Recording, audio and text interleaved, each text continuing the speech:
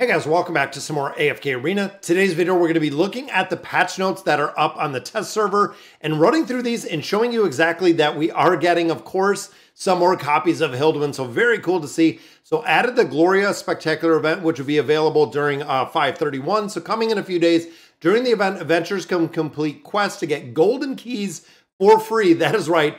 Free to play is going to love it and open the celebratory chest to randomly rewards from different tiers. Additionally, you stand a chance to get an Awakened Hero Choice chest. Don't know what iteration of heroes this is going to be, if it's going to be the first generation, second or third, or if it's just going to let you get a hero yourself, or if it's going to give us this because it says you have a stand a chance to get a hero choice chest, which makes me think probability of getting it is pretty low to get a hero. Now, the Isle of Gold event will be back. That is right, it is coming back. I feel like we just finished the Isle of Gold not too long ago, and overall, we farmed a lot of resources in there because, of course, it was, the, I believe, again, it was what, about a month ago for the fifth anniversary, but this is starting on June 6th. You can build your own island to harvest abundant resources or pillage other islands. Now, of course, a lot of players do kind of a combination of between these two. I have always found that I like really harvesting and hoarding made a big difference, and it doesn't look like there's any changes to the Isle of Gold as it sits today. So looking at the second phase of Dragon's Gift will be available again 6-9.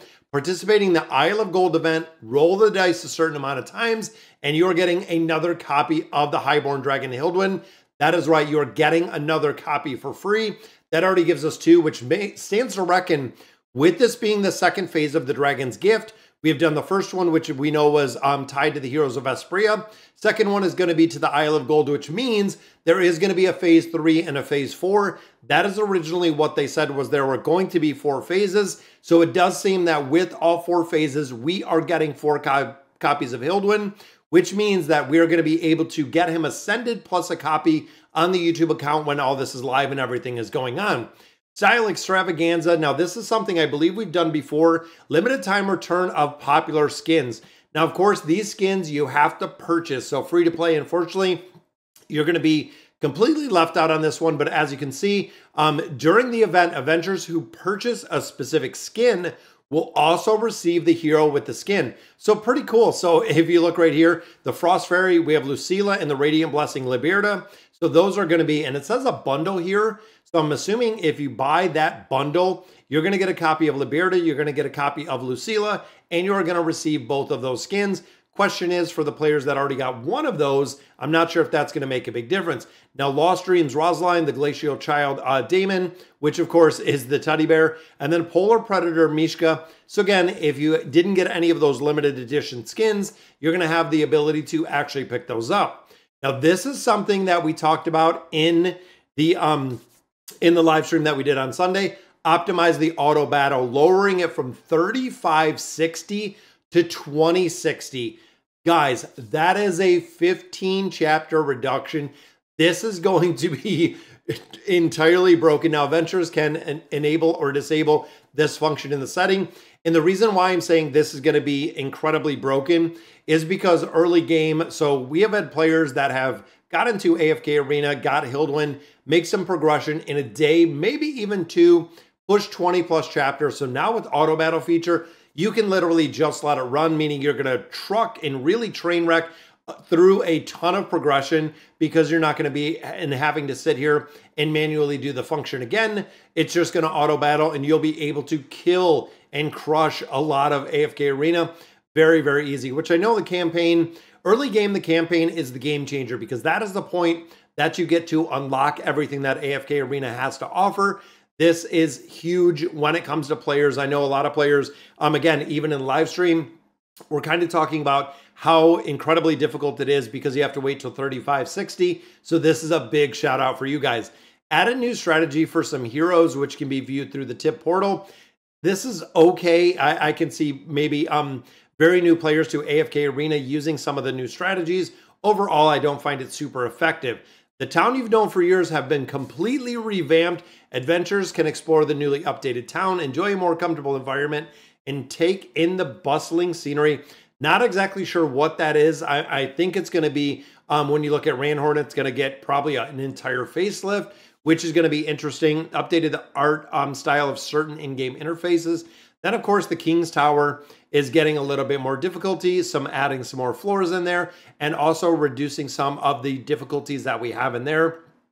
So again, going to be a little bit of an update in there. Unfortunately, I'm not seeing anything about a dimensional tower or a draconic tower at this point. Hopefully one day, once upon a time, we know that we're getting um Rimuru and we're also getting a secondary hero that is going to be coming. You notice they're not in the patch notes. Now, of course, with dimensional heroes most of the time they just release the dimensional um, that is available for the exchange sometimes we see the patch notes but that almost makes me think because the timeline for these patch notes and the hero being out are not going to line up eh, essentially together so it's going to be interesting so we could see the release of our two heroes that are coming our two dimensional heroes that are coming in conjunction with patch notes 1.44 which should include from the dev notes the 2.5% probability increase for both the Stargazer and also for the Temple of Time. Again, we're going to have to see because it doesn't seem like it's in this patch, maybe not yet, but we're going to have to see the next patch. It should be dropped in there. And of course, the King's Tower, unfortunately, nothing that we see in there. So enrollment for the Mystic Star Zone will open. This, of course, is going to be the second of the three iterations. And of course, we still have not seen our chests out of there yet. As much as I would like to get that Awakened chest, we are still zero for forever, meaning we have never gotten one ever through that entire thing. Now, interesting right here. Now, with our brand new Mauler, they're fixed an issue. Certain circumstances, the violent venom um, skill health loss affected was not being calculated in timely manner. Don't think that's a buff, but I don't think it's much of an adjustment because these are extreme circumstances which are outside of kind of the regular control or kind of like a, a niche issue that we had. Then, of course, the update will only affect the test server final on the live server. Will determine when the official updated update is launched. Now, of course, some of the things that are missing one, the probability increase that we are kind of looking for. Um, of course, the dimensional tower. Then uh, the last one that we're not seeing within here, unfortunately, is having the ability to um, actually go through here and add some more to the field of stars. We're still waiting to see some more of the build out. We're still see- waiting to see some more of the Field of Stars to actually be updated. But again, we have events on events, kind of on events, covered over, of course, the regular events. So when we start looking in here with within the patch notes and you look at the events tab, there's a ton in here as well that is coming.